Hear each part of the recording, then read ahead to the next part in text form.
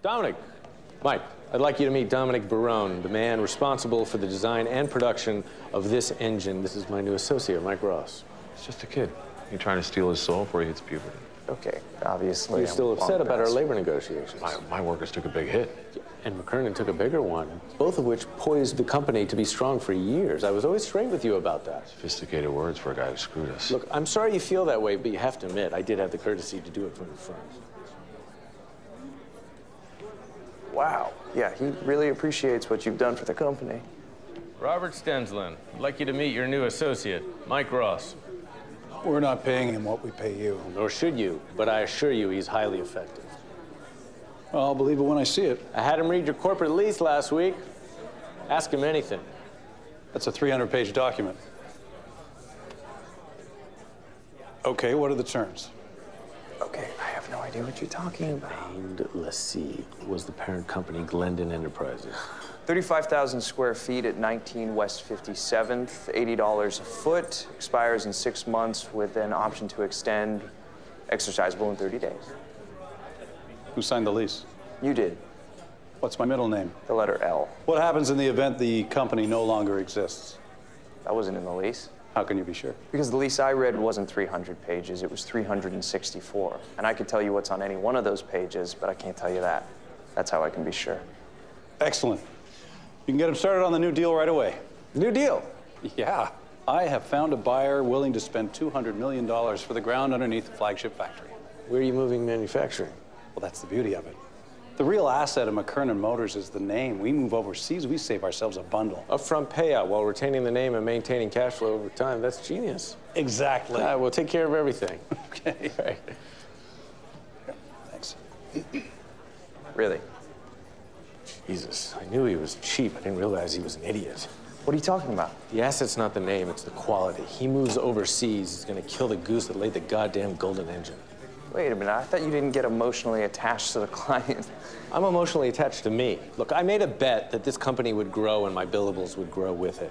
We're holding a pair of aces, and this asshole's trying to fold. So, what are you gonna do? I'm not gonna do anything. You're gonna go through those bylaws, and you're gonna find me a way to get rid of Robert Stensland. No, no, no, no. I have to go see my grandmother. Uh-uh. She dying?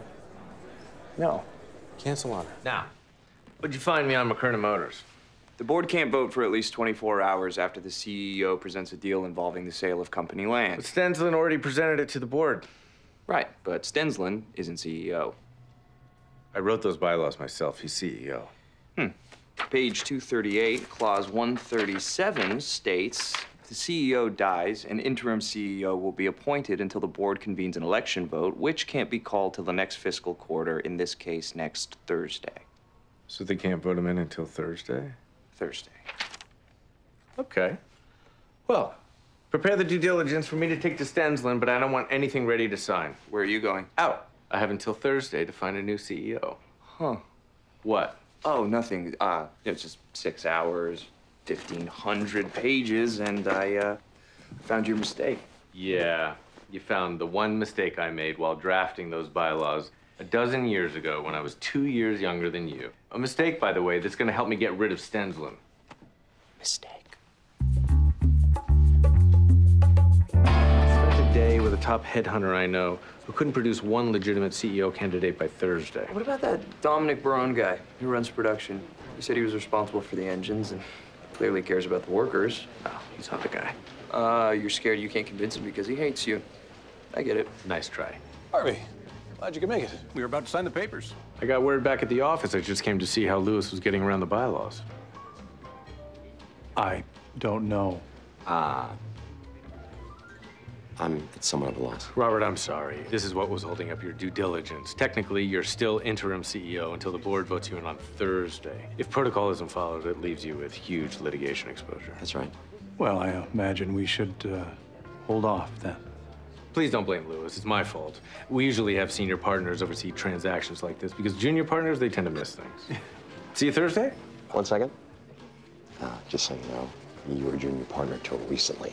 There's a reason I'm not anymore. I need you to prepare the draft CEO candidate speech for Thursday. Oh, I thought you were supposed to back off. Yeah, I'm supposed to do a lot of things. I'll call you with the plan on my way back. From where?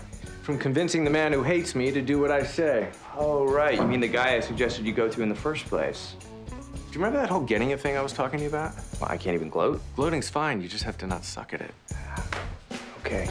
Thank you so much. It hurt. Robert?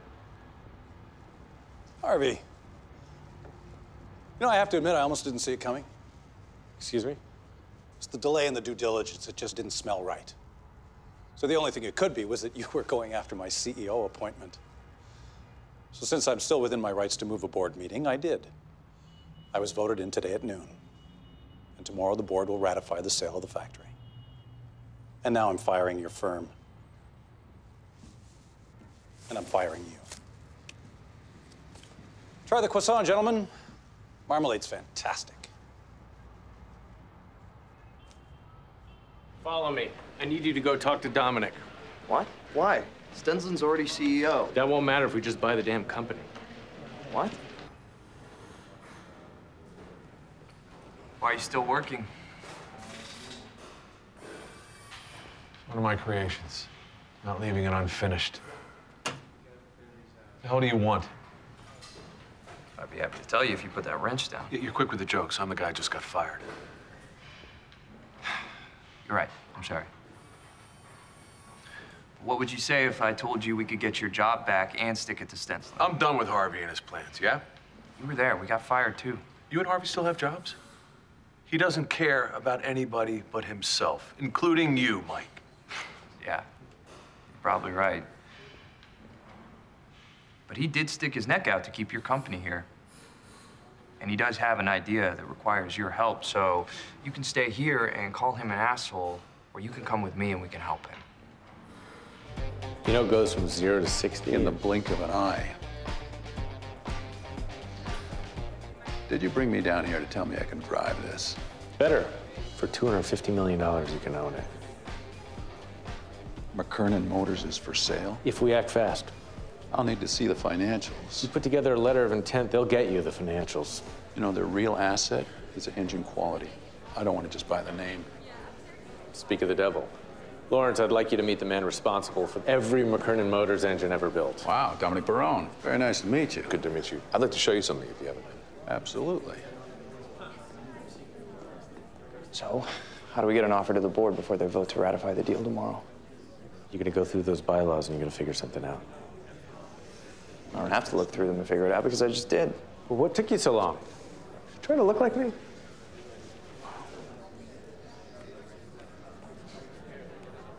Each of you have had 24 hours to review the documents in front of you. So at this time. No, excuse I me, excuse me. Wh- What is he doing here? I'm sorry, I'm going to take care of this. No, no, no, I will. You gentlemen have no right to attend this meeting. Actually, we do. The bylaws states that any original employee has the right to petition the board anytime they meet. Dominic Barone has assigned that right to me. He was fired. He no longer has that right. Per section 17-5.c, Dominic wasn't given three days' notice, so technically he wasn't fired. Which is why I do have the right to urge the board to accept the offer for the purchase of McKernan Motors. Now, I can tell you that this offer will keep manufacturing here and save jobs while retaining the flagship engine that put this company on the map, but I don't have to because it happens to be for way more goddamn money than the one in front of you right now. Hey, Bob, how are you?